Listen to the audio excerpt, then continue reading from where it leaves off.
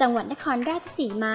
มีพื้นที่ขนาดใหญ่ มีทั้งหมด 32 อำเภอ หนึ่งในนั้นคืออำเภอวังน้ำเขียว ตั้งอยู่บริเวณทางตอนใต้ของตัวจังหวัด เป็นอำเภอที่มีธรรมชาติอุดมสมบูรณ์ ชุกชุมไปด้วยสภาพภูมิประเทศในรูปแบบภูเขาสูง เรียกได้ว่าเป็นแหล่งผลิตบรรยากาศชั้นดี และถูกจัดว่าเป็นพื้นที่ที่มีโอโซนอันดับ 7 ของโลกทำให้มีอากาศเย็นสบายตลอดทั้งปี จนได้รับสมญานามให้เป็นสวิตเซอร์แลนด์แดนอีสานกันเลยทีเดียว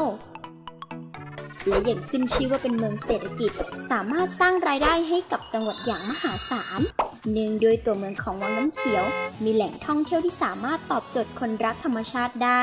เช่น ผาเก็บตะวัน ตั้งอยู่ที่อุทยานแห่งชาติทับลานตำบลไทยสามัคคี เป็นจุดชมวิวที่สวยงามแห่งหนึ่งของอุทยานแห่งชาติทับลาน มีวิวธรรมชาติที่สวยงาม สามารถไปนอนกางเต็นท์เพื่อรอชมพระอาทิตย์ขึ้น และลับขอบฟ้าในยามเย็น ในช่วงฤดูฝนอาจได้มีโอกาสพบเห็นสายหมอกในยามเช้าอีกด้วย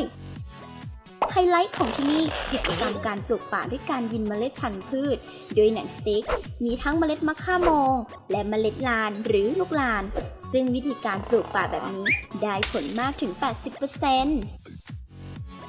ขาแผงม้าก็เป็นอีกหนึ่งแลนด์มาร์คที่สำคัญ แม้จะไม่ได้เต็มไปด้วยฝูงม้าอย่างชื่อภูเขา แต่เด็ดกว่าตรงที่มีกระทิงตัวเป็นๆให้เห็นกัน แถมยังมีหอให้ชมกระทิงให้ไปซุ่มดูกันได้ ส่วนเวลาที่แนะนำคือช่วงเวลาบ่ายสามโมงถึงพบค่ำและช่วงเห็นเจ้ากระทิงได้ดีที่สุด คือช่วงต้นฤดูฝนนะจ๊ะ